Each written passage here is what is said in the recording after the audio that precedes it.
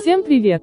25 июля супруга Стаса Михайлова поделилась радостной новостью. Ее сын Андрей женился на давней возлюбленной Кате. Церемонию решили провести на родине невесты, в Греции. Сегодня новоиспеченные супруги поделились кадрами торжественной части события. Андрей и Катя решили скрепить свой союз духовными узами. Венчание влюбленные провели в одной из греческих церквей. Невеста появилась в пышном свадебном платье, украшенном вышивкой, а жених выбрал классический костюм черного цвета. В храме пару сопровождали многочисленные друзья и члены семьи. К вечеру все отправились на пышную вечеринку, которую молодожены устроили прямо на открытом воздухе.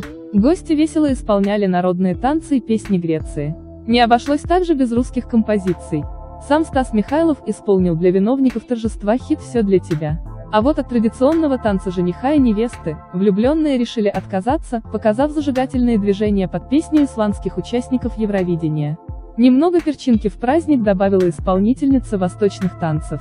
Девушка демонстрировала стройные ноги и страстные па, только вот поводов для ревности невеста не усмотрела. Катя напротив осталась в восторге от выступления танцовщицы.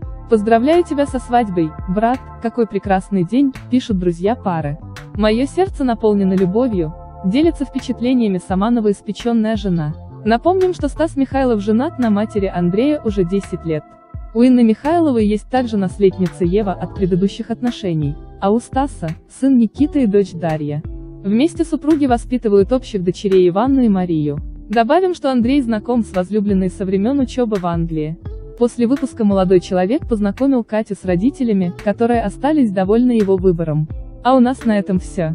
Спасибо, что были с нами. Подписывайтесь на наш канал, ставьте лайки, комментируйте. Всем пока!